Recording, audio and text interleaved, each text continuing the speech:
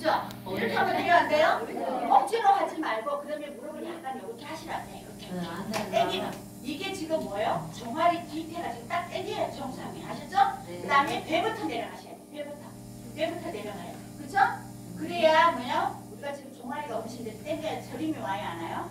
와요 그래서 지금 저림을 또 방지하면서 자꾸 종아리가 지금 아프시니까 이걸 땡겨주는 거 스트레칭 하나 둘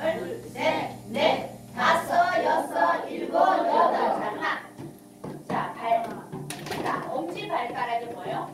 이해 안 돼. 그죠?